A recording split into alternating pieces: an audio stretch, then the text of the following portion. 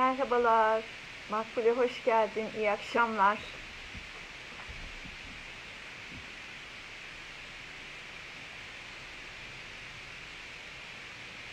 Merhaba Esra.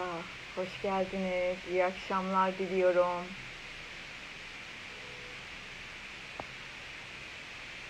Merhaba Nuriye. Hoş geldin. İyi akşamlar hepinize.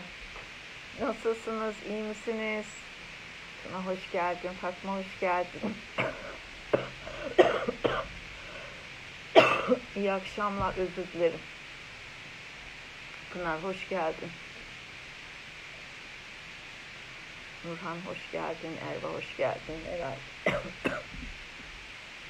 Yok artık gelmeden su için hemen. Nasılsınız? İyi misiniz?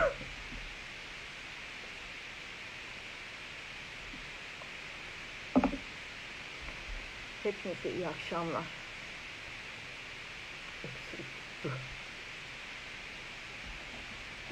Dikkatli davet edin hemen.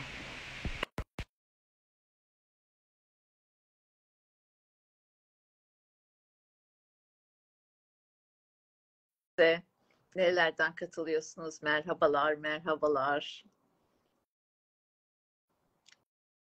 Merhaba Rukiye'cim.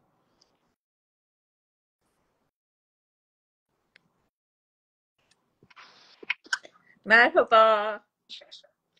Nasılsınız Gökhan? Evet, sağ olun. Sizler nasılsınız? Ben de iyiyim. Tam şeyi açtım, öksürük tuttu kriz. Geçmiş olsun. Teşekkür ederim. Bir şey yok ya durup dururken işte. Su için istiyorsanız Evet. su biraz şey yapar. Biraz alayım evet. Hı.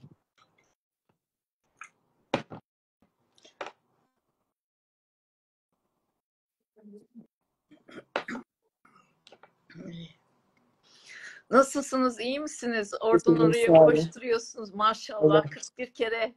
Teşekkür ederiz. Sağ olun. Koşturuyoruz. İşlemlerimize devam ediyoruz. Aksatmadan. Her yetiş yetişmeye çalışıyoruz çok şükür. Maşallah, maşallah. Evet, çok şükür Ee, yayınlarınız devam ediyor. Aynen, aynen, aynen. Bölümleri çekmeye devam ediyoruz. Perşembe sabah işlemlerimi alıyorum. Birkaç poliklinik hastama bakıyorum. Sonra İstanbul'a gidiyorum. Akşam da geri dönüyorum. Em, Hemen o, o güne yetiştiriyorsunuz maşallah. Dört gün çekiyoruz. Sonra geri dönüyoruz. Pazar günü de ekstradan saat 12 ile 2 arası tekrar poliklinik yap- yapmaya başladım ki Perşembenin öğleden sonrasını orada tamamlıyorum. Çok güzel, çok güzel. Hayırlı olsun. Ee, Gökalp Bey bu akşamki konumuz tüp bebeğe hep tüp bebek tedavilerinden bahsediyoruz ama tüp bebeğe başlamadan önce de yapılması gereken bir takım şeyler var. Hastaları bu konuda bilinçlendirmemiz gerekiyor. Siz de bu konuyu seçtiniz. Sağ olun. Doğru. Ee, bize şey konuda ama bununla ilgili çok fazla konuşulmadı. Aslında e, bir şeyler hazırlık yapılmadan yapıldığı zaman ne yazık ki başarılı olunmuyor. E, o yüzden çiftlerin bize gelmeden önce mutlaka bir hazırlık safhası var. Bu hazırlık safhasında ne çok önemli? Zaten bir kadın gebe, gebe kalmaz, kalmak istiyorsa mutlaka öncesinde birazcık hazırlık yapması lazım. Neler yapması gerekiyor? Mutlaka vitamin takviyeleri, özellikle folik asit alması gerekiyor. En az iki ay öncesinden. Sadece kadının alması da yetmiyor. Çünkü tek başına gebelik kadından olmuyor. Erkeğin de mutlaka folik asit takviyesi alması gerekiyor ki spermde de e, bir hasar olmasın. E, eğer daha öncesinde yapılmış mutlaka biz çiftleri birlikte değerlendiriyoruz e, ve sperm analiziyle e, rahim filmine bakıyoruz e, ve yumurta sayısına da bakıyoruz. Eğer sperm analizinde yapısal bir bozukluk varsa sigara içiyorsa mutlaka hayatından sigarayı çekme, çıkartmasını söylüyoruz e, erkeğe. E, bunda da çalışma yapılmış. Aslında tamamen bırakması en iyi ama 5 taneden fazla içmesinin spermin ciddi yapısal problemi ve DNA hasarına neden olduğunu ve düşüklere neden olduğunu. Tabii bu da bebeğe yansıdığı için düşüklere neden oluyor. O yüzden günde 5'ten fazla sigara tüketilmemesi gerektiğini hem kadın hem erkeğin e, en az 2 ay öncesinden bu, bu tür zararlı alışkanlıkları bırakılması gerektiğinden bahsediliyor. E, çok fazla kafeinli içecek tüketilmemesi, çok fazla alkol tüketilmemesi, yani alkol de hayatından çıkarması gerekiyor.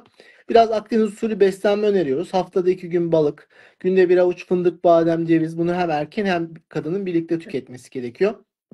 Kadına biz ekstradan e, incir ve e, havuç öneriyoruz. E, çünkü beta karoten var. İncirde yumurta kalitesini arttırıyor. Ama bunlar e, yum- yumurta topladığına kadar, yumurta topladıktan sonra, transferden sonra çok incir önermiyoruz. Onun yerine daha fazla avokado, işte yeşil sebzeler ve zeytinyağı ağırlıklı öneriyoruz. Ee, yine öncesinde yapması gerekenler arasında çiftlerin bir kere en önemlisi yapması gereken şey psikolojik olarak birbirlerini hazır etmesi haline. Yani sadece bu olayı bir kadına ya da sadece bu olayı bir erkeğe yönlendirmemek gerekiyor. Birlikte bunu e, birlikte hazırlanmaları gerekiyor. Psikolojilerini birlikte hazırlanmaları gerekiyor ve sürece hazır olmaları ve biraz da rahatlatmaları gerekiyor. Burada tabii erkeğe çok büyük rol düşüyor. Evet. Yani erkeğin e, tamam bazen sıkıntılar olabilir, maddi manevi sıkıntılar olabilir ama bunlara çok fazla kadına e, Yansıtma. yansıtmaması gerekiyor. Çünkü yansıttığı zaman biz embriyo transferi yaptığımız zaman rahim kendini kasarsa ne yazık ki bebek tutunamıyor. O yüzden biz tüp bebek öncesinde çiftlerin psikolojik olarak birlik, e, bir, bir şekilde iyi bir şekilde hazırlanması gerektiğini düşünüyoruz. E, hatta yurt dışında biliyorsunuz tüp bebeğe başlamadan önce önce bir psikiyatriden raporla geliyorlar. Yani bütün Amerika'da bu şekilde. E, Avrupa'da çoğu merkezde de bu şekilde. Önce çiftler psikiyatriye gidiyor. Oradan bir rapor alıyor. Uygunsa tedaviye Ne başlanıyor. kadar güzel bir uygulama. Biz bizde ise şöyle oluyor. Biz tabii tecrübemiz çok fazla olduğu için, çok fazla hasta gördüğümüz için hani derler ya öğretmenler ya bu çocuk okur hani gözünden anlarlar. Biz de bu kadın ya bu çiftin gebe, gebeliği yakalayacağımızı gözünden anlıyoruz ama bazı çiftler oluyor ki o kadar kaygılılar ki onlardan çok fazla olmayacağını biliyoruz. O yüzden mutlaka psikolojik destek almalarını öneriyoruz, tavsiyede bulunuyoruz. Ee, çoğunlukla ama ne yazık ki kabul etmiyorlar. Ee, kabullenmiyorlar. Aslında bu da bir evet, yine E. Kübler-Ross'tu. Psikiyatride e, bunu tanımlayan birisi var kronik hastalıklarda. İlk başta bütün kronik hastalıklar ki işte çocuk olamama durumu da aslında bir kronik hastalık. E, ilk başta bir reddetme yani kabullenememe daha sonra suçlama yani şundan dolayı bundan dolayı daha sonra e, depresyon ve en sonunda kabullenme fa- e, fazları var. İşte o kabullenme fazla, fazına ne kadar hızlı geçilirse e, daha rahat bir şekilde tüp bebek sürecine başlanmış oluyoruz. O, o yüzden beslenmenin yanı sıra Akdeniz usulü beslenmenin yanı sıra da psikolojik olarak da mutlaka çiftlerin birbirini motive etmesi gerekiyor. Bir de stresin yönetme yöntemleri var aslında. Çünkü stres beynimizde bir bölgede e, kaynaklanıyor ve bu bölgeden bir hormon salgılıyor. E, eğer biz bu bölgeye de stresi tanımlayabilirsek ki bunun tanımlama egzersizleri var çiftlerin birlikte yap- yapması gereken e, daha rahat bir şekilde stresle e, mücadele edebilirler. Ne yapılabilir? Mesela pilates topunun üzerinde oturarak kitap okuyabilirler. Ee, eğer bir, bir insan stresliyse pilates topunun üzerinde böyle sendeler. Ee, ama kitabı da konsantre olup okuyamaz. Ee, o yüzden hani bu tür basit egzersizleri çiftlerimize öneriyoruz. Ee, tabii biz tüp bebek öncesi başka neye bakıyoruz demiştik. Ee, sperm analizi dışında e, mutlaka spermde eğer yapısal bozukluklar varsa da e, antioksidan dediğimiz vitamin takviyeleri öneriyoruz. Burada e, vurguluyoruz. Önemli olan bunların miligramları. En azından karnitinin en az 1000 miligram olması gerekiyor. Hani alacakları ürünlerin mutlaka içeriklerine baksınlar. Buradaki en önemli vitamin karnitin. Karnitin direkt mitokondri dediğimiz e, spermin enerjisine e, etki eden bir vitamin ve bu e, spermin e, yapısında birazcık düzeltebiliyor. En iyi antioksidanlardan bir tanesi. En az 1000 miligram karnitin olması lazım. 1000 miligram C vitamini ve 1000 miligram E vitamini olması lazım. Bunların biner miligram olması lazım. 10, 20, 30 değil. E, 1000 miligramın altında C vitamini ve E vitamini varsa ne yazık ki sperm DNA hasarını e, düzelttiği ya da spermin yapısını düzelttiği gösterilememiş. O yüzden 1000 miligram karnitin, 1000 miligram C vitamini ve 1000 miligram E vitamini olması gerekiyor. Tabii diğer şeyler de olursa iyi olur. İşte glutatyonlar, koenzim Q10'ler, folik asitler, D vitamini, çinko, selenyum. Bunlar artık zaten rutin antioksidanları içerisinde var. Bunun dışında kadında da bizim için önemli 5 tane çok iyi- önemli antioksidan var. Yumurta kalitesini arttırdığı gösterilmiş. Bir tanesi koenzim Q10, bir tanesi glutatyon, bir tanesi de alfa lipoik asit. E, alfa lipoik asitin tadı biraz acı. Özellikle e, genç kalmaya çalışan, hücre yetisilerinin genç kalmasını çalışan mankenler arasında çok popüler oluyor. Yani bu- bugün televizyon karşısında izlediğimiz çoğu e, manken alfa lipoik asit tüketiyor. Çünkü çok iyi bir antioksidan. E, vücudun yaşlanmasını engelliyor, hücrelerin yaşlanmasını engelliyor. Bizim amacımız da bizim de yumurtanın yaşlanmasını engellemek, yumurta kaybını azaltmaya çalışmak. Gene ön tedaviler arasında ne var? E, biz mutlaka rahim filminde rahimde bir şekilsel bozukluk var mı? rahim içerisinde bir yapışıklık var mı? Mesela bugün çok sevindiğim bir haber geldi Konya'dan. Hastamızın tüp bebek yapmışız. 15 yumurta toplamışız. Daha önceki geçirdiği kürtajlara bağlı rahminde aşerman vardı. Ee, rahmini düzeltmiş. Rahim duvarı kalınlaşamıyordu. İnce rahim duvarıydı. Rahim iç, iç, iç yapısına biz PRP enjeksiyonu yapmışız. Rahim duvarı güzel kalınlansın ve kalınlaşsın diye o doku kaybolan yerlere. Ve bugün kendinden gebe kalmış hastamız. Daha transferi gelmedi. Embriyolarını dondurmuştuk. Çok mutlu olduk. Tabii böyle zor bir vakaya, rahim duvarının ince olduğu, kalınlaşamadığı, e, rahim içinde yapışıklıkların olduğu bir vakada kendinden yaptığımız histeroskopi işlemiyle kendinden gebelik yakalamak mutluluk veriyor. Ama Evet. tabii ki bunu önceden yapmayıp direkt tüp bebek yapıp transfer yapsaydık bu bebek tutulmazdı. Zaten de daha önceki uygulamalarında o şekilde olmuş. Bir de rahim filminin çok önemli olmasından bir sebebi de hidrosalpinx dediğimiz tüplerde sıvı birikimi olması. Ee, dün de öyle bir hastamız Gaziantep'ten gelmiş. 5 defa tüp bebek denemesi olmuş. Rahim filmi çektiğimizde sağ tüpünün sıvı birikimi olduğunu gördük. Laparoskopisini yaptık. O sıvı birikimdeki tüpündeki sıvı birikimi rahmin içine aktığı sürece o embriyonun bebeğin tutunma şansı ne yazık ki yok. O yüzden o tüpün e, rahimle olan bağlantısını kapatıyoruz ki biz bebek oraya tutunabilsin. Çünkü o sıvı, tüpün ürettiği sıvı bebeğin tutunmasına engel oluyor. O yüzden demek ki yapılması gereken yani tüp bebek öncesi yapılması gerekenlerden e, en önemli şeylerden bir tanesi de rahim filmi ve rahim filmini çok doğru bir şekilde değerlendirmek. E, son olarak da gene yapılması gereken şeyler arasında da yumurta rezervi var. Çünkü yumurta rezervi bizi neyi gösterir? Bir kadın doğduğu zaman belli bir yumurta sayısıyla doğuyor ve bu yumurta sayısı tükendiği zaman da ne yazık ki fazla yapabileceğimiz bir şey kalmıyor. O yüzden yumurta sayısı tükenmeden bir an önce biz o yumurtaları toplayıp embriyo oluşturmak istiyoruz. Bunu iki şekilde yapılabilir. Ee, bizim gibi e, çok fazla yumurta sayan e, tüp bebek yani tüp bebekle uğraşan kadın doğum uzmanlarına gidip yumurtalarını saydırabilirler. Az gördükleri zaman da AMH dediğimiz yumurta rezerv testiyle mutlaka baktırmaları gerekir ki bunlar da öncesi yapılması gereken testler arasında. Peki ben bir şey sormak Tabii istiyorum bu arada. Şimdi bir sürü vitamin saydınız. Bunları e, her doktor vermiyor. Hani bir miligram şu e, karnitin gereksiz diyor, bir şey diyor. Gereksiz değil. Hatta yayınları da ben size gönderebilirim miligramlarına kadar. Biliyorsunuz ben çok fazla kongre Kendiliklerinden kongresine alabilirler mi hastalar yani? Tabii kendileri ilaçları? kendi, kendilikle Yok. yani kendilerinden de doktorlarının önermesi gerekmez. Yani ne bileyim e, bir C vitaminli, E vitaminli e, kendiliklerinden alabilirler. Şöyle söyleyeyim. Ben Amerika'ya gittiğimde çok e, Boston'da yani Harvard Tıp Fakültesi'nin dünyanın en iyi tıp fakültesinin olduğu yere gittiğim zaman e, çok ilginç bir şeyle karşılaştık. Canson da sonradan o da onu fark etti. E, etrafta hiç eczane yok. Etrafta her yerde vitamin takviyesi satılan marketler var. Evet, Her yer. Yani e, İngiltere'de de öyle, Londra'da da öyle değil mi? Her yerde şey var. Yani en fazla ilaç olarak bulabileceğiniz şey parasetamol. Ağrı kesici. Yani antibiyotik satan bir eczane yok. Ne bileyim e, yani eczane bulamazsınız. Her yer vitamin takviyesi satıyor. Çünkü orada insanlar sürekli vitamin kullanıyorlar. Çünkü vitaminlerin sadece yumurta ve sperm kalitesini arttırma yönelik değil. Yaşam ömrünü uzatma yönelik, kalp krizi riskini düşürmeye yönelik, e, kanser eczane gibi marketler işte kanser riskini azaltma yönelik. O yüzden e, bu vitaminleri e, gidip de bir doktor tavsiyesiyle almıyorlar. Normal standart olarak gidip e, oradan sürekli hastalanmamak için, Evet, evet. hastalıklara yakalanmamak için önlem amaçlı. Bizde bu kültür yok. E, ben biraz da şundan kaynaklı. Belki biz Akdeniz ülkesi olduğumuz için bir şeyler ulaşmak bizde kolay. Mesela portakala, ne bileyim e, işte C vitamine ulaşabileceğimiz mandalinaya gibi şeylere ulaşmak bizde kolay ya da balık gibi. Ama orada çok fazla market de bulamıyorsunuz. Yani böyle gidip bir meyve alabileceğiniz öyle bir kültür olmadığı için herhalde her yerde vitamin takviyeleri var. Ve bu vitamin takviyelerine de zaten rahatlıkla ulaşabiliyor. Hiçbir doktora sormaksızın düzenli olarak kullanıyorlar.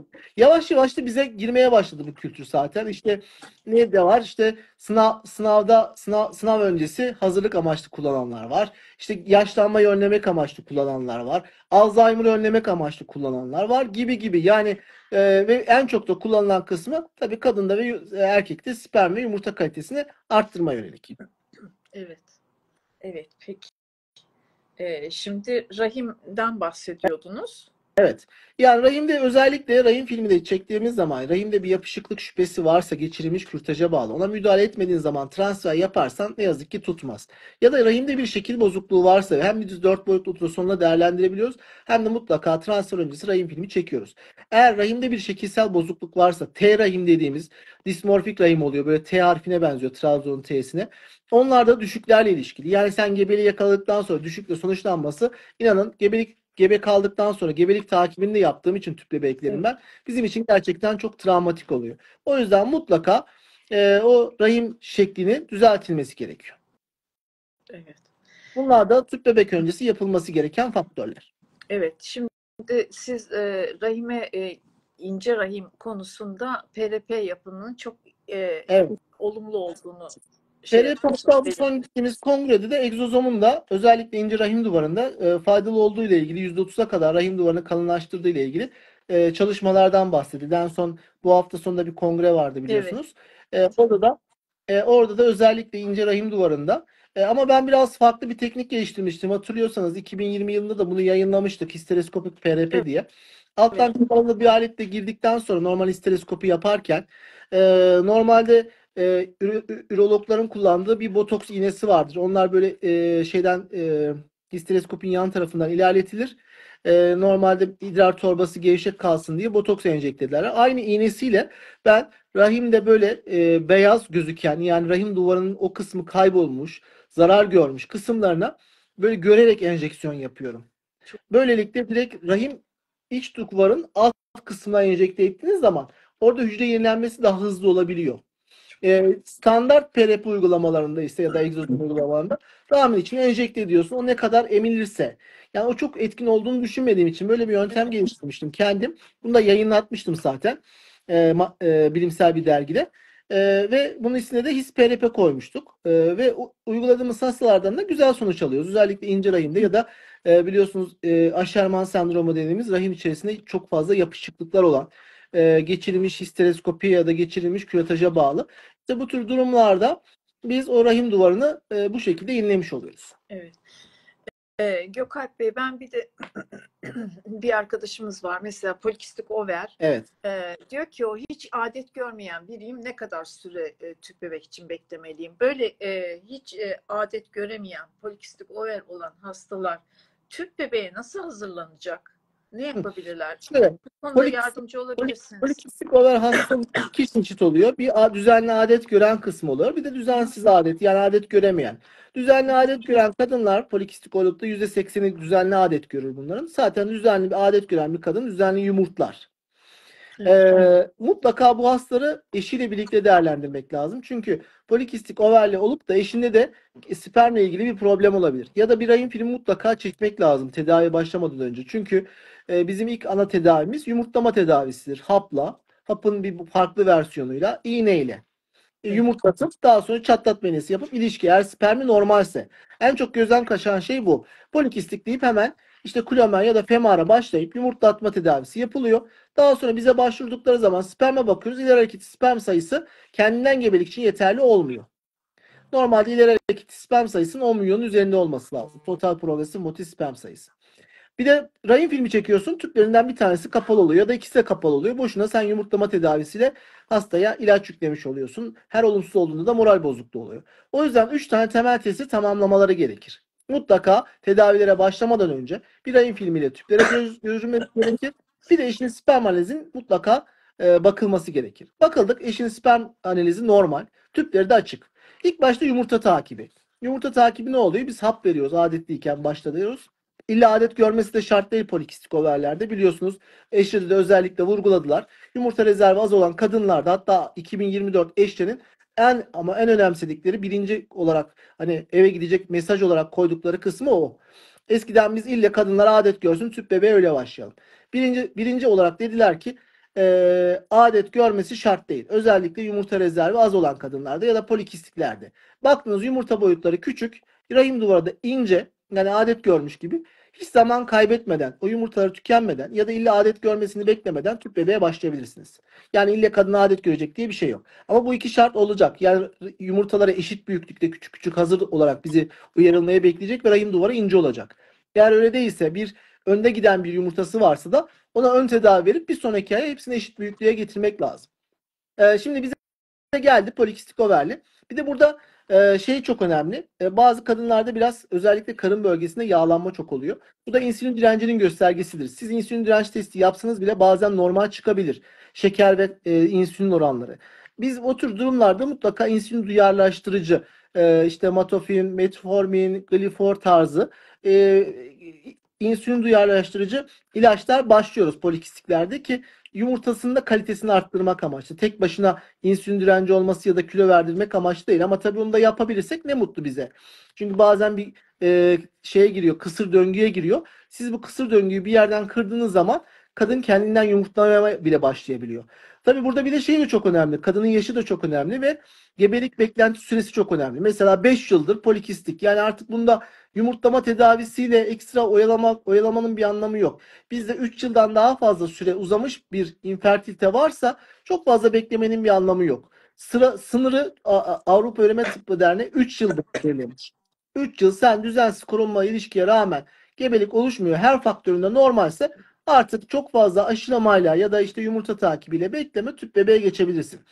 E, hatta İngiltere'de direkt buna teşvik ediyorlar. E, çünkü yapılmış çalışmalarda aşılamanın başarı oranı çok yüksek olmadığı için çok fazla zaman kaybedilme önerilmiyor. Polikistik olaylarda son bir şey söyleyeceğim. Polikistik olaylarda eşinin sperm normal ve tüpler açıksa aşılamanın kesinlikle yeri yok. Evet. E, eskiden e, bir yıl e, korunmasız e, ilişkiden eğer hamile kalınmazsa mutlaka tüp bebek merkezine e, başvurun deniyordu.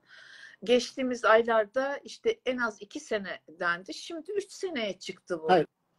Üç sene demedim ben. Ee, başvurumu farklı. Ben tüp bebek için demiyorum. Tüp bebek merkezine başvuru için polikistik Pardon, ben- olaylarda 6 Hı hı. ay. 6 ay eğer bir adet düzensiz gören bir kadın 6 ay boyunca gebelik oluşmazsa bize başvursun. Biz hemen tüp bebek önermiyoruz zaten. Evet. Yani kadın doğumcusuna başvursun. Benim söylediğim şu. 3 yılı geçmişse çocuk istemesine rağmen korunması ilişkiye rağmen bundan sonraki seçilecek tedavi yönteminden bahsediyorum. Anladım. Yani çok fazla yumurta takibi aşılamanın ekstra 3 yıl süreyle korunması ilişkiye ve her şeyi normal olmasına rağmen tüpleri açık ve spermi normal. Yani buna ekstra bir aşılama yapmanın ya da eşlikle bir yumurta takibi yapmanın çok bir anlamı yok. Doğru. Tüp bebek tüp bebeğe başlanabilir diyeceğim bahsediyorum. Ee, ama e, çocuk tedavisi için başvurmada e, bazı çiftlerde 6 ay e, bunu biz bekliyoruz. Bazı çiftlerde 1 yıl. 6 ay kimlerde bekliyoruz? İşte polikistik overlerde 1 yıl beklemiyoruz. Eğer adet düzensizliği varsa kadın 6 ay boyunca korunması ilişkiye rağmen gebelik yoksa bize başvuracak. Biz de bir an önce e, yumurta takibine başlayacağız.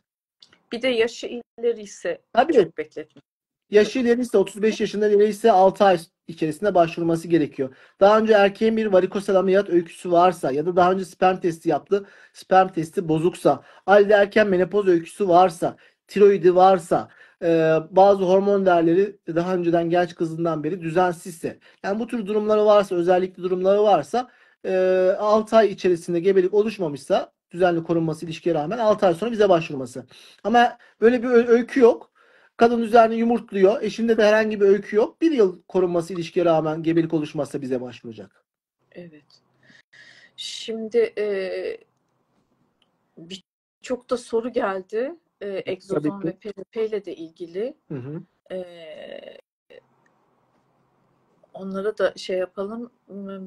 Bir e, soru benim dikkatimi çekti. Oraya tekrar gelebilecek miyim bilmiyorum. Hı hı. Ee, yaşı 38 olan bir arkadaşımız e, 1.33 diyor AMH. Fakat diyor ben yumurta var, yumurta ama ge- gelişmiyor bir türlü. Ee, ne yapabilirim, neden diye sormuştu. Onu tam size soracaktım. Evet, yani bir de böyle yumurta gelişmeyen arkadaşlarımız da var. Şöyle, bazen yumurtada reseptörlerinde yani yumurtanın e, uyarılma reseptörlerinde direnç oluyor. Evet. O direnç, direnci kurum- kırmaya yönelik ya ilaç dozuyla oynayabiliyoruz ya da bazen yumurtalara enjeksiyon yapıyoruz. İşte PRP ya da egzozom gibi. Hı. Bunları çok güzel bu kongrede Eray Hoca var. Eray Çalışkan Hoca. O da zaten dernek Evet. başkanı. Ee, gayet güzel anlattı. Hani faydalı olduğuyla %15 ila 20 oranında bu hastalardan sonuç alındığıyla. Ama bizim elimizdeki son seçenekler arasında hemen biz gel şunu yapalım demiyoruz. e, ilk başta bir e, normal standart bir tedaviye cevap vermeyen artık zor dediğimiz hasta gruplarında e, bunlar uygulanabiliyor. E, ama dediğim gibi direkt bunları hemen uygulayalım demiyoruz. E, ilaç dozlarını ayarlayabiliriz. Bir de yumurtası çıkıp da döllenip de güzel 5. gün embriyosu olmayan grup var. Ben bu İşte bu grup. Evet. Bu çok önemli. Orada biz piezo tüp bebek yapıyoruz. Piezo ile de elektrik uyarısı vererek yumurtalara ki artık bu kanıtlanmış. Yani bunu bütün Evet. kongrelerde öneriliyor. Ee, özellikle Avrupa Üreme Tıbbı Derneği direkt öneriyor. %20 oranında yani %20 az, azımsanacak bir rakam değil. %20 oranında embriyoların 5. güne gitmesi sağlanmış oluyor. Böylelikle gebelik getirecek embriyoya. Piezo ne oluyor? Piezo bir elektrik uyarı yöntemi. Ee, yumurtanın özel bir kiti oluyor. Kite elektrik uyarısı vererek enerji yüklemesi oluyor ve e, yumurtanın kalsiyum kanalı dediğimiz eskiden biz yumurtaların kalitesi iyi olmayınca kalsiyum eklerdik. Evet. Bu direkt kendi yumurtanın kalsiyum kanallarını açıp e, enerji yükleme gibi bir yöntem oluyor. Spermle de döllediğin zaman normalde biz bunu Ros- Rossi'de kullanılıyordu eskiden.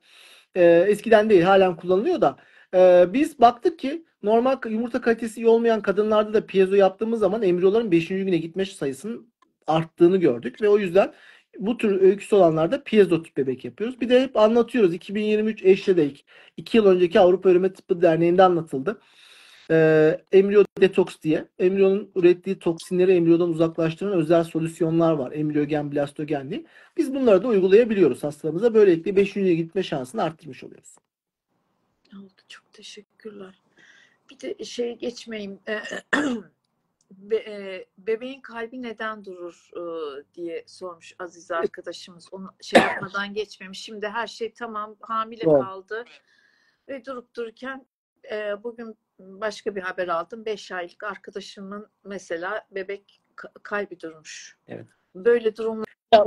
Bunların %80'lik sebebi yapısal. Yani bebek Evet. e, anne rahminde organlarını geliştirirken e, rahim e, kalbinin bir damarını bazen geliştirmiyor, bazen kalbinde delik oluyor, e, yaşamla bağdaşmıyor. Bazen beyinde bazı yapılarını geliştiremiyor.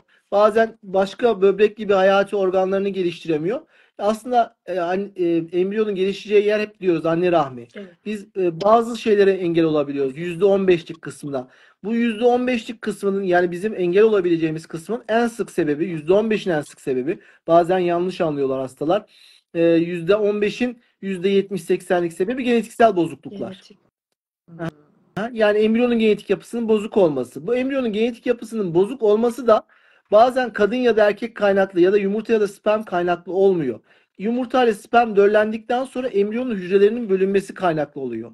Ha- Şöyle düşünün, mozaik embriyolar var biliyorsunuz, Evet, evet, %20'si genetiği bozuk, %30'u genetiği bozuk.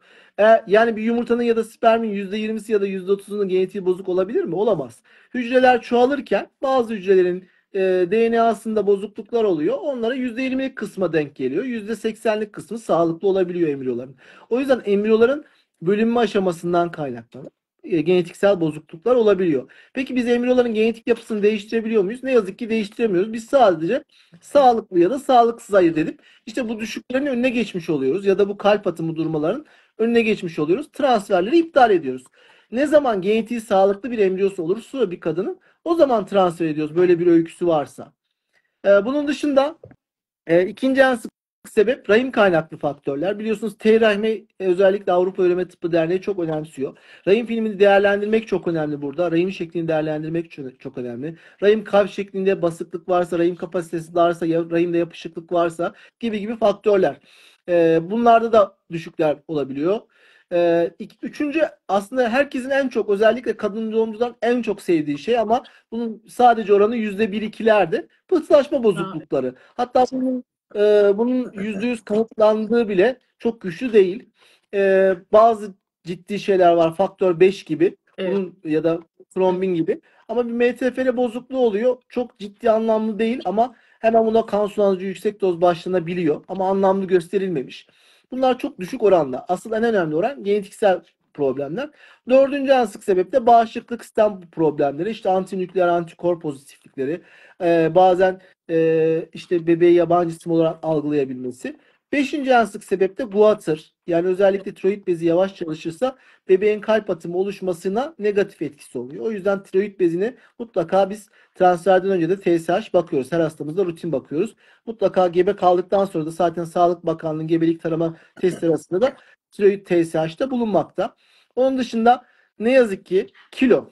Yani siz e, eğer vücut kitle indeksiniz yani kilonuz e, 5'in üzerindeyse bu direkt düşüklerle ve kalp atımı durmalarıyla ilişkili. Siz ne yaparsanız yapın. Kan sulandırıcısını ayarlasınız.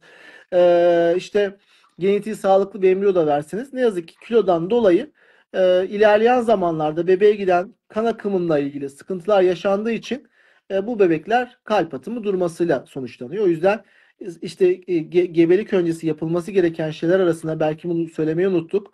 Mutlaka en azından kilonuzun %10'unu vermeniz gerekiyor. Ee, yani 100 kiloysanız bir 10 kilo verip 90 kilo ile geldiğiniz zaman hem gebe kalma şansınız artıyor hem de düşük şansınız 5 kat azalıyor. Yani 5 kat. Yani düşünebilir misiniz? Düşük şansınızın 5 kat azalması için birazcık bir da sizin mücadele vermeniz lazım. Yani standart bir şey yapmamanız gerekiyor. Evet arkadaşlar iyi dinleyin. Yani gerçekten çok değerli Bir bir de çok önemsediğim bir şey daha var. Hep direkt sorduğum soruda o olur. Kalp atımı durduğu zaman e, bunda en önemli iki faktör bir kadının iri yaşıdır. Evet. iki erkeğin sigara içmesidir. Hmm. Yani sigarayı da öncesinden bırakacaksınız. Bana gelen hastaya ben söylüyorum. Bakın siz gebe kalırsınız eşiniz bir paket sigara içiyor. Eğer düşük yaparsanız ya da kalp atımı durursa eşinizin sigara içmesinden diyorum. Onlar da aslında ne yazık ki düşük yapıyorlar ve ben de diyorum ki bak sigarayı keşke bıraksaydın. O yüzden lütfen erkeklerin özellikle erkeklerin sigara içmesi eee, ne yazık ki embriyonun Nasıl? eee, sağlıklı olmamasına neden oluyor. Yapmayın. Ee, çok teşekkür ederim. Gerçekten çok değerli bilgilerdi bunlar. Ee, Bir de çok ve- güzel bir soru var. Bu sperm DNA hasarı ile ilgili. Şimdi artık biliyorsunuz Avrupa'da sperm DNA hasarı bakmak bitti. Kaldırıldı. Ee, sebebinden birazcık bahsedeyim. Evet bizde halen popüler ve halen bakılmaya devam ediyor. Ee, tüp bebek için bahsediyorum ben yalnız. Şimdi biz sperm DNA hasarı bir boyama yöntemi. Spermi alıyorsun, boyuyorsun. Cihazı bizde de var. Biz de kullanıyoruz. İşte %30'un üzerinde çıkarsa ciddi yani orta ciddi hasarlı deyip antioksidanlar veriyoruz. Ee, ama burada şöyle bir şey var. Tüp bebekte biz zaten e, bir boyama yapıp da Aa, şu boyanmayanları biz alalım da sperm olarak kullanalım demiyoruz.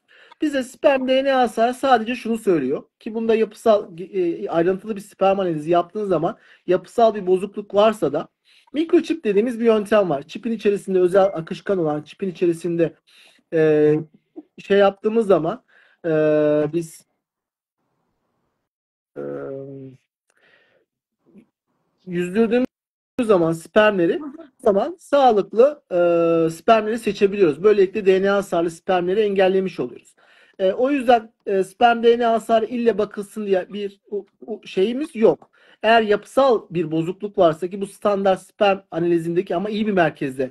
Yani bazen bu sperm analizi de şöyle bir analiz değil. Hani sperm alıp bir damla e, bir alete koyup da e, işte kan değeri gibi şu kadar hareketli sperm var, şu kadar sperm var, şu kadar yapısı bozuk denmiyor. Spermden bir damla alıp mikroskopta bakıp e, sperm sayısını toplama vuruluyor.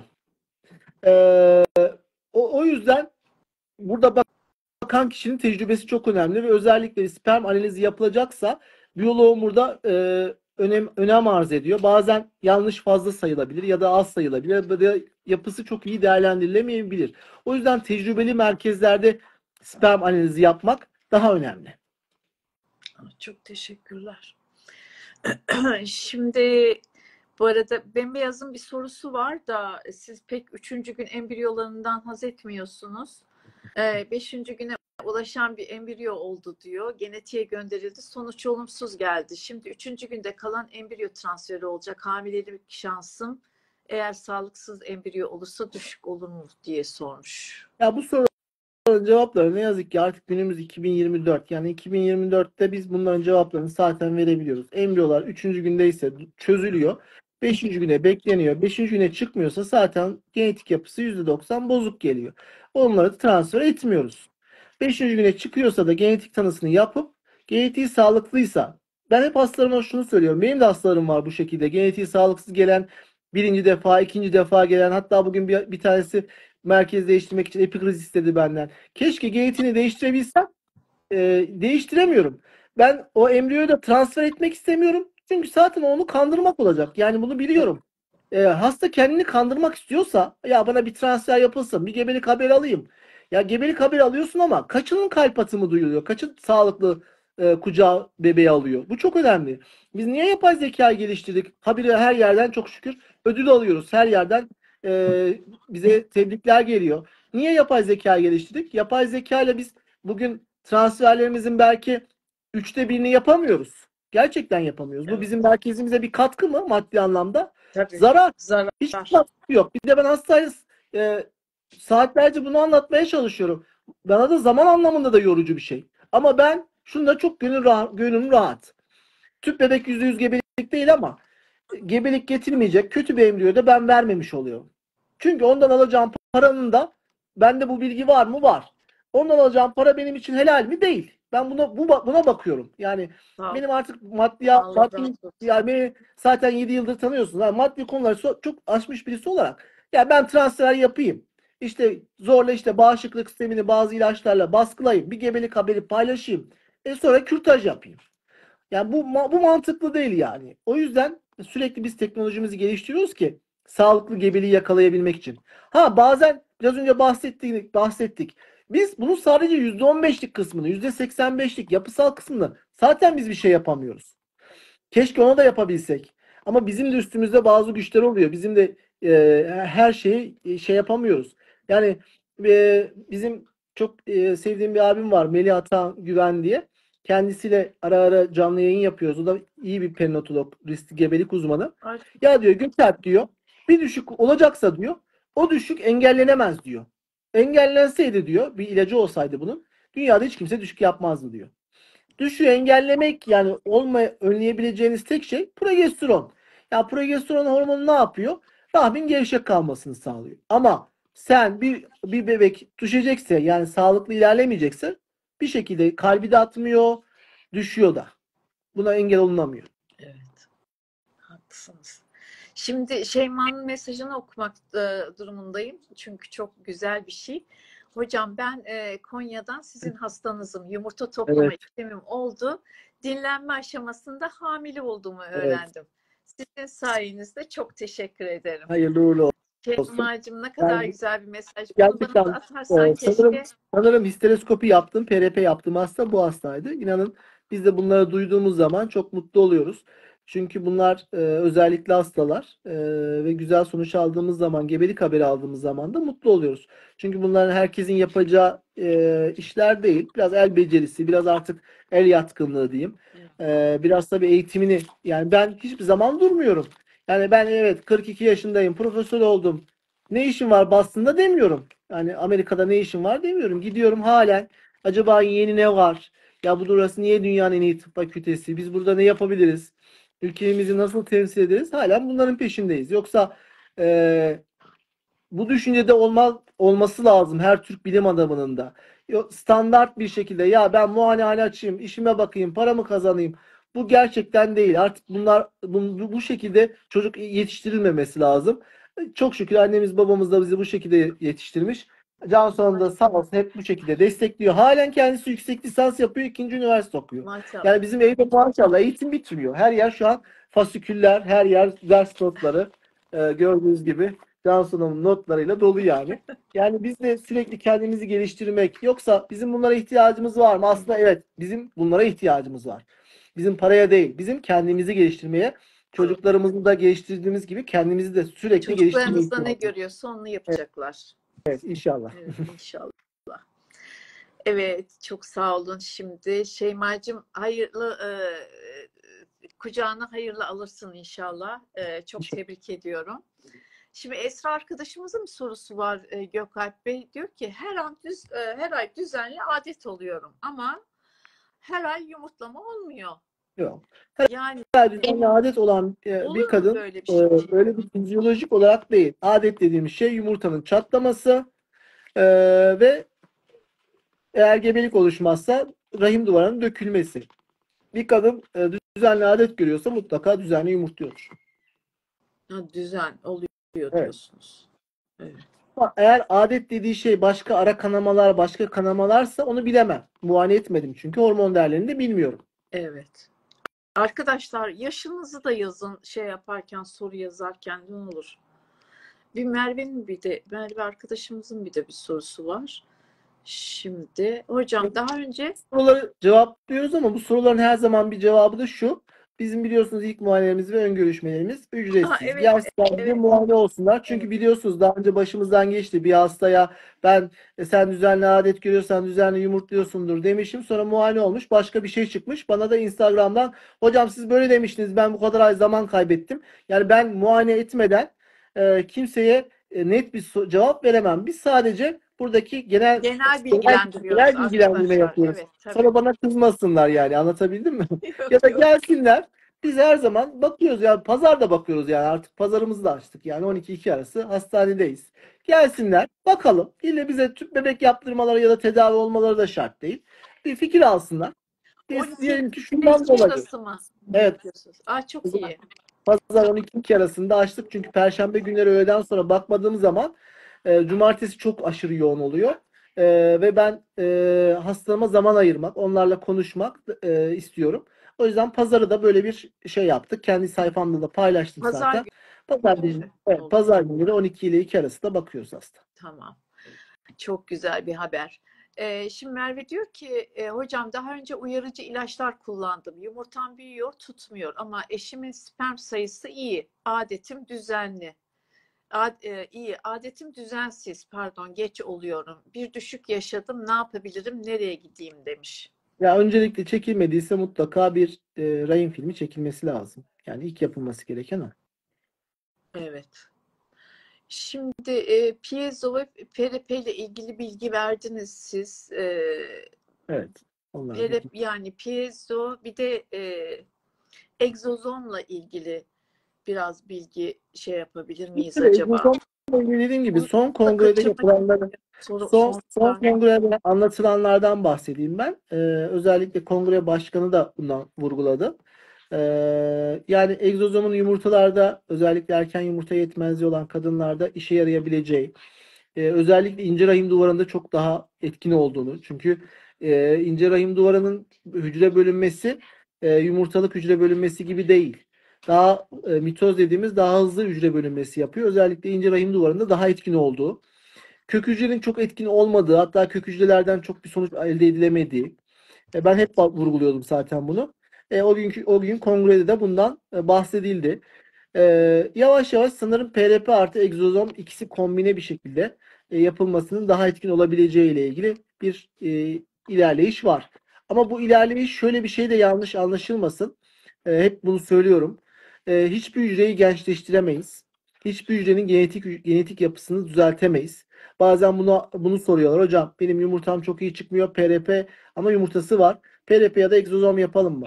PRP ya da egzozom mevcut olan yumurtayı uyandırır. Cevap vermeyen. Ekstradan yeni bir şey yapmaz. E, hücre yenilemez, hücre gençleştirmez. Öyle olsa hepimiz PRP'den egzozomlu havuzlar yapar, girer çıkarız. Hepimiz 18 yaşına döneriz. Ne yazık ki böyle bir şey yok. Sadece mevcut olanı e, ortaya çıkarır. Evet. E, şimdi Bir soru daha e, var. Hemen onu da söyleyeyim. Tamam. Yumurta toplama olmadan kalitesi hakkında bilgi sahibi olabilir miyiz? Yumurtanın kalitesini gösteren tek şey kadının yaşıdır.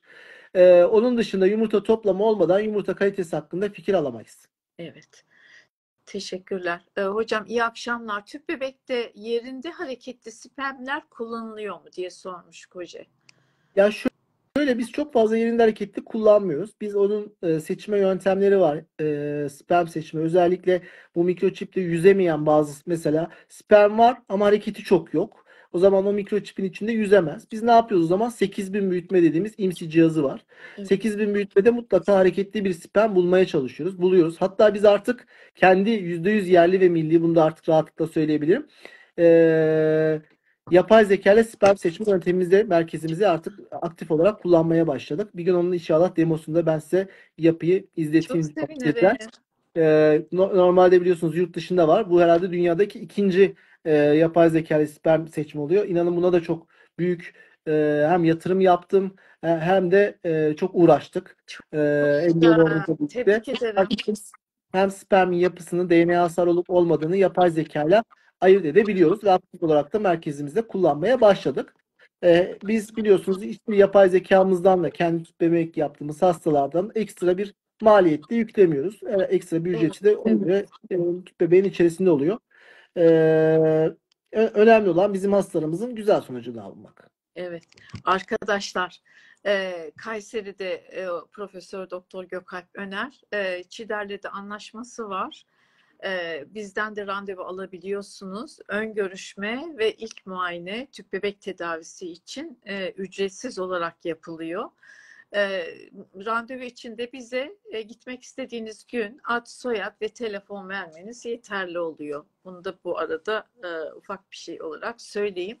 Ayrıca Gökalp Bey'in iki tane de kitabı var arkadaşlar. Ee, bir tanesi e, bu tariflerle gebe kalınır diye içinde yemeklerle ilgili tarifler var. Ee, diğeri de diğerinin adını Bu dizinin adı Bebek. Mucize Bebek. Ee, o çünkü elime bana göndermiştiniz. Birisi çok istedi ona hediye Asla gönderirim ben ne demek. Ona 10 tane daha gönderirim. Sıkıntı yok. Ee, Şimdi şöyle bir de bu da yanlış anlaşılmasın. Ee, bazen e, işte kitap reklamı yapıyor gibi. Biz zaten bunun gelirini Türkiye Eğitim Vakfı'na Evet. bağışladık. ha, evet. Canlı olarak Evet, edebiyatında yapıyorum ben Ee, zaten. DNR'lardan alabilirsiniz. DNR'lardan. Vakfı'na, Ee, e, gelir hediye olarak beklentisi, gelir beklentisi olmadan yaptık. Sağ olsun Destek Yayın Evi Türkiye'nin en iyi yayın evi. O da çok yüksek bir ücretle satmıyor. Ee, öyle olduğu için de insanlar faydalı olsun diye. Evet, sağ olun. Evet. Bu kitabı da mutlaka şey yapın. Bakın arkadaşlar. Ee, bu Evet, tarihlerle o- gebe kalın. O tarih, o tarifler mesela 1100 tane makaleyle oluştu. Bilimsel aslında tamamen. Ha. Sadece Türk damak tadına uygun ve be- bu böyle benzer kitaplar yurt dışında var aslında. Hatta bestseller olarak geçiyor. Ama onlarda e, işte eti e, eti domuz eti kullanıyorlar falan. Ya bizim damak tadımıza uygun değil. Yani hoş olmayan şeyler, yağları çok hoş değil. Biz tamamen Türk damak tadına uygun molekülleri seçtik. e, besin şeylerini seçtik. E, ve onlara yönelik yaptık. Ve onunla gebe kalan da çok hastamız var. Yazıyorlardı. evet. Saplara da paylaşıyorum da. İnanarak yapıyorlar. Çok o bu sevgiyle yapılıyor. Evet. Ee, şifa Ya her şey, diye her şeyin başı, her şeyin başı emek aslında. Biz de emek Tabii, harcıyoruz. Ee, ve güzel sonucu da işte e, bu şekilde elde etmiş oluyoruz. Şimdi e, ben e, şarjım azalmış. Hemen şarjı takıyorum. O olaya e, şey aldım. E, evet. e, şimdi a- 31 yaşındayım diyor o Pamuk.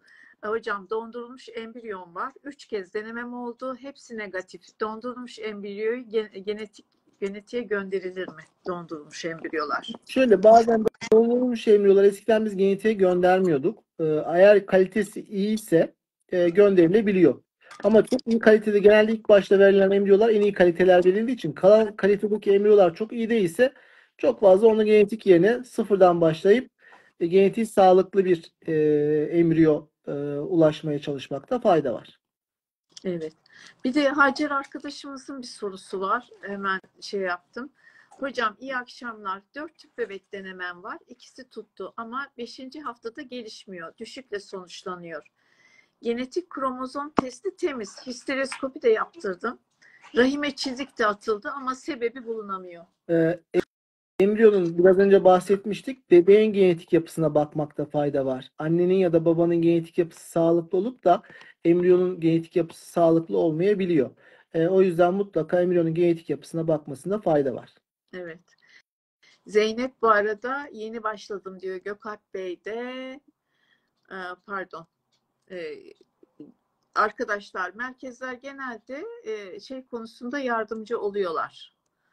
Ee, yeni başladım. Gökalp hocam da kendisini çok sevdim. Çok samimi geldi. Başarıların devamını diliyor. Sağ. Zeynep arkadaşımız. Kitaplar arkadaşlar Bir de çok güzel bir şey yapmışsınız. Ee, Ben, orada e, alabilirsiniz. Ben sizi tebrik etmek istiyorum. Ee, tüp bebek merkezi seçilirken neye dikkat edilmeli? Evet. Orada çok güzel bir şeyiniz var. İşte %70-80 gebelik aman bunlardan uzak durun diyorsunuz ya gerçekten çok önemli. Ee, öyle oranlar e, biz de vermek kesinlikle isteriz.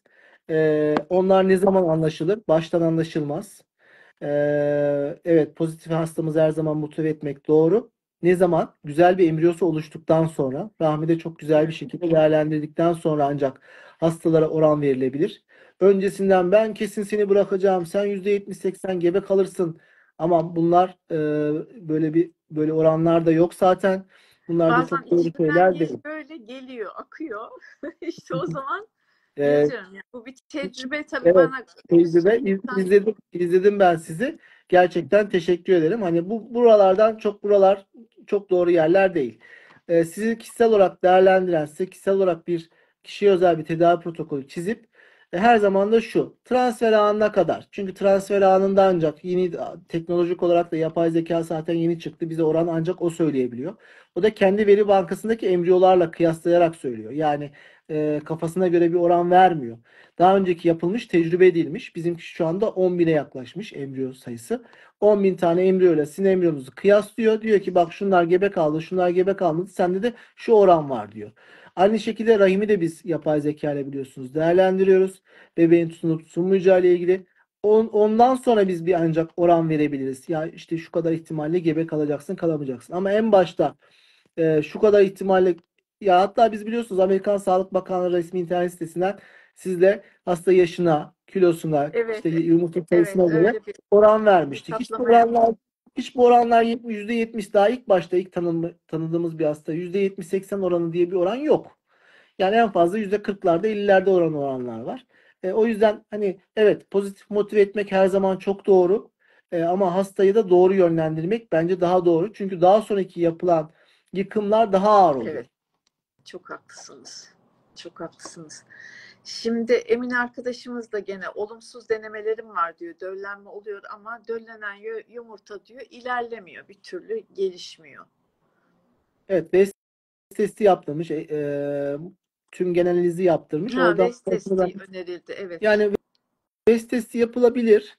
Ee, ama West testinden genellikle çok fazla bir ara çok popülerdi. Ben de hemen hemen bu tür hastalarımın hepsini önermeye başladım. Yaklaşık e, 27 tane hastama verdim. 27'sinde West'i normal geldi. Ya normal gelince de bir de pahalı da bir test. Yani genetik embriyo, genetik testi yapmak kadar pahalı da bir test. Yani bu kadar yapacağımıza bebeğe genetik bakmak, embriyoya genetik bakmak daha mantıklı. Bence eğer yapılabiliyorsa ee, beşinci güne gitme yöntemleri arasında biraz önce piezo ve embriyo detokstan bahsettik. Piezo ve embriyo detoksla güzel bir beşinci gün embriyosu elde edilirse de bebeğe genetik tanı yapılması daha mantıklı. Evet. Teşekkür ediyorum. Mesude arkadaşımızın bir sorusu var. Hocam yapay zeka ile di- diğer yani diyelim devlet hastanesinde kullanılan tedavi yöntemleriyle arasında yüzdelik bir fark verilebiliyor mu diye verebiliyor musunuz diye sormuş Mesude. Yok böyle bir fark veremiyoruz. Yapay zeka şöyle bir şey. Ee, canlı yayında da siz de yapmıştık. Sizin transfer anındaki embriyonuzun resmiyle, şekliyle ki transfer anı bizim için çok önemli. Ee, yapısına bakıyor ve diyor ki şu kadar ihtimalle gebe kalır. Ya da e, yapısına bakıyor diyor ki şekline bakıp ya bunda genetiksel bir bozukluk olabilir. Sen bunu mutlaka genetiğe gönder. PGD yap. Transfer yapma. PGD'ye gönderdikten sonra kesin sonuç çıkıyor zaten. Evet. Bir de yapay zekayı sadece orada kullanmıyoruz. Yapay zekayı sperm seçme yöntemi var. 42 tane parametresi var. Bu 42 pa- parametreyi de yapay zekaya öğretebiliyorsunuz ki öğrettik. Ee, en iyi kaliteli spermi Hani hep vardır ya e, yarışı kazanacak sperm. Artık biz o yarışı kazanacak spermi embriyolog bir de hakem heyeti koyuyor. Hani VAR'a gidiyor. Evet. VAR'a gidiyor ve VAR'dan bazen dönüyor. Diyor ki ya diyor bu spermi seçme bak. Şu sperm daha iyi diyor. Ve o spermle yapıldığı zaman biraz önceki bahsedilen işte embriyon 5'e gitmedi, embriyon güzel döllenmedi. İşte yapay zeka işte bu size döllenecek embriyoyu da seçmiş, yani spermi de seçmiş oluyor. Bir de bizim diğer dünyada ilk defa biz gerçekleştirdiğimiz için bunu rahatlıkla söyleyebiliyorum. Rahim duvarını da değerlendirebiliyoruz. Hem kanlanma yapısına hem şekline bağlı olarak da bize yüzde olarak gebelik oranı veriyor. Evet. Bir de sizin için e, gene e, geçen aylarda yaptığımız gibi online e, Zoom'da görüşme e, yapabiliriz eğer. Şey yaparsanız. Ya Hocam çok bir de faydalı oluyor. Çok mutlu oluyorum ben orada yani. imzalı çekiliş yapsak mı imzalı kitabınız için diye Olur tabii ki. Ne demek? Yaparız. Siz, E, siz tamam. E, Gökalp Bey'in olduğu bir Bir program sonraki- gene Bir sonraki gelecek gelecek aya ya da işte 1 Ocak Evet. yeni yıla, yeni yıl hediyesi olarak Aa ne güzel. yeni yıl Tamam. hediyesi Yıl olarak hediyesi olarak verelim arkadaşlar. 10 tane Mucize Adına adı e, bebek ve 10 tane de bu tariflerle 20 kişiye, 20 şanslıya yeni yıl hediyesi olarak dağıtalım. Harika bir haber. 1 Ocak'ta ellerinde olsunlar. Biz Aralık'taki e, şeyimizi Aralık- biraz evet Aralık'taki böyle 26-27'si gibi yaparız sizde canlı yayınımızı ayın sonuna doğru. tamam. Sonra herkese de ben kargolarım 1 Ocak'ta evlerine yeni yeni yeni yaşlarına, yeni yıla, yeni umutlarla gider. Tamam. Öyle yapalım. Evet e, sevgili arkadaşlar Mesude'nin sorusunu cevapladık. E, kitabı nasıl alabiliriz? DNR'lardan sorabilirsiniz arkadaşlar. Yarın onları ben size yazacağım. Hikayeyi de yayınlayacağım. E, istediğiniz e, şeyden online olarak satın alabilirsiniz. E, e, 48 yaşta mümkün mü diye sormuşlar. Herhalde tüp bebek mümkün mü diye soruyorlar. Yani tüp bebek yapılıyor ama başarı oranı gerçekten ciddi anlamda zor. Ee, ama ben hiçbir zaman hiçbir hastama denemeyin demiyorum. Ee, sizin diyeceksiniz 48 yaş gebeliğiniz var mı? Benim 46 yaş gebeliğim var. 48 yaş gebeliğim yok. Ee, dünyada da zaten bir ya da iki tane. Bunun sebebi de yumurtanın genetik yapısı sağlıklı olmayabiliyor. Ama biz hastamızda e, şu şunları yapıyoruz. Ne yapıyoruz? Birincisi yumurtasını takip ederken östrojen dediğimiz kadınlık hormonları takip ediyoruz hormonlarıyla. Hormonlar istediğim seviyede olmazsa iptal ediyorum.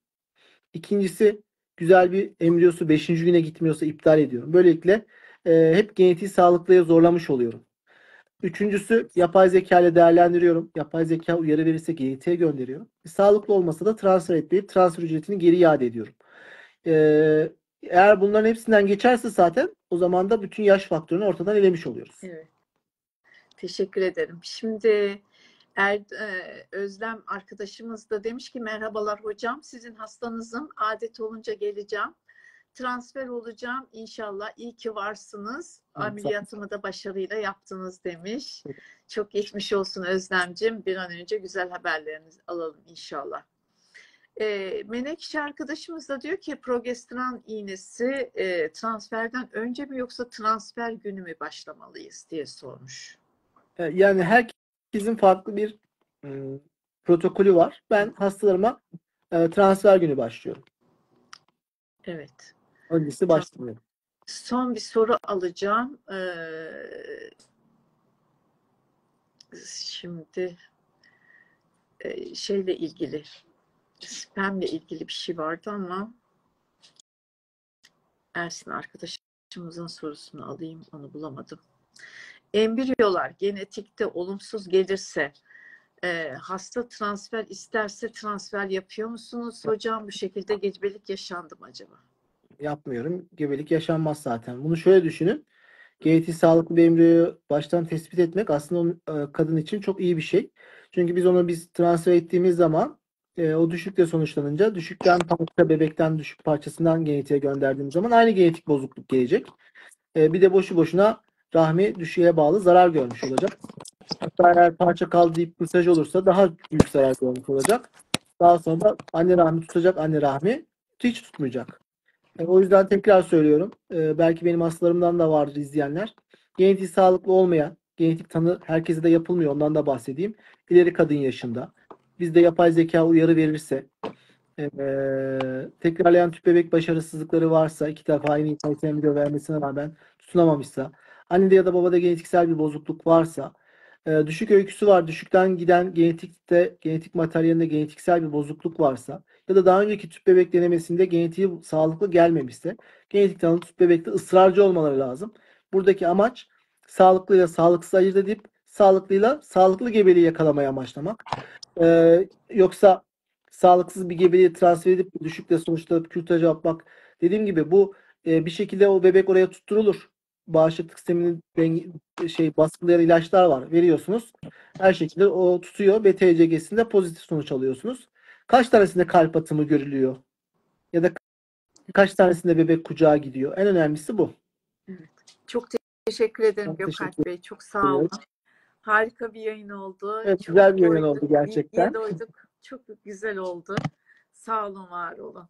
Cansu Hanım'a da çok selam, sevgiler. Sağ Ee, Tamam, teşekkür iyi dersler diliyorum, başarılar Zamanımız, diliyorum. zamanımız var mı? Bir tane bir şey gördüm. Sadece cevap vermek Tabii. istediğim için.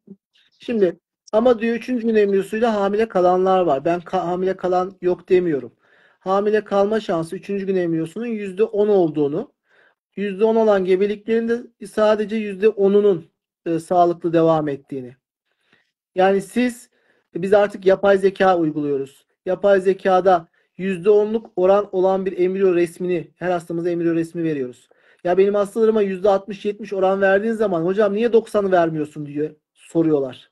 Siz kendinize %10'luk gebelik şansı getiren bir embriyo transfer ettirir misiniz? Bunun da %90 ihtimalle, %80-90 ihtimalle düşükte sonuçlanacağınızı bile bile. Yoksa ben e, üçüncü gün embriyosu gebelik getirmez demiyorum. %10'u gebelik getiriyor. %10'u da sağlıklı devam ediyor. Bunun 5'e gitme ihtimali varsa bütün dünyanın teknolojisi siz de gördünüz Amsterdam'da. Bütün teknolojiler ne için uğraşılmış? Yapay zekalar, piezolar, embriyo detokslar, embriyoskoplar. Amaç ne? Embriyoları 5. güne götürmek değil mi? Bütün yani binlerce bilim adamı, binlerce e, merkez amacı tek bir amacı var. Gebelik getirecek 5. em gün embriyosuna gitmek. Bunların hepsi kafayı mı yemiş de herkes 3. gün verirdi o zaman değil mi? Evet.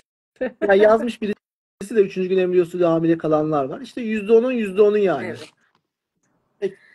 Allah Yaptığınız hepinizin için. yardımcısı olsun diyelim. İki, ikinci gün olsun, üçüncü gün olsun, yeter ki hamilelik olsun diyeceğim. Başarılar diliyorum Sağ olun. hepinize. Teşekkür Çok ederiz. öpüyorum. İyi akşamlar diliyorum. Hoşçakalın.